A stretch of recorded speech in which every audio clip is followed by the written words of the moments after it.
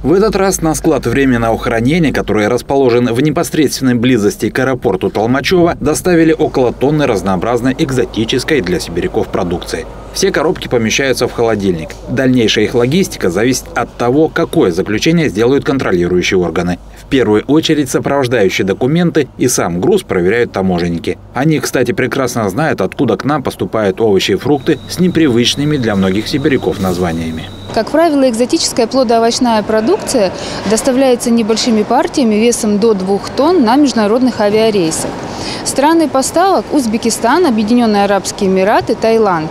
Задача таможенников – организовать максимально оперативный таможенный контроль таких товаров в течение нескольких часов с момента прибытия воздушного судна так и случится, если товар благополучно пройдет проверку фитосанитарного контроля. В специально отведенной для этого комнате специалисты внимательно осматривают образцы всех видов товара, поступившего на склад. Смотрим на наличие признаков повреждений э, самих вредителей болезней и насекомых.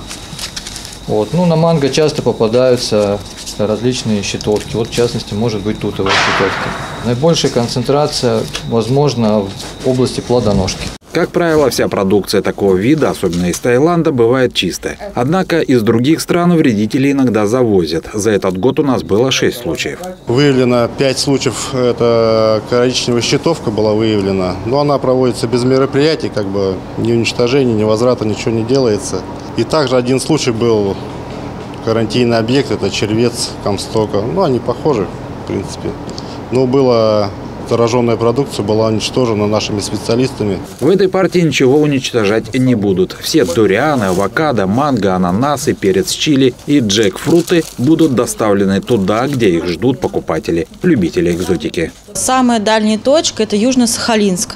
Туда полетят фрукты, также Нижневартовск на север, Иркутск, соседние города, Барнаул, Кемерово, Новокузнецк, то есть по, по, по соседним регионам и совет специалиста, как выбрать наиболее спелый и вкусный плод. Спелая манго имеет желтую кожуру, немножечко оно проминается, э, ароматное. А ананас? Ананас, прежде всего, это аромат, э, желтый цвет, э, зеленая верхушка.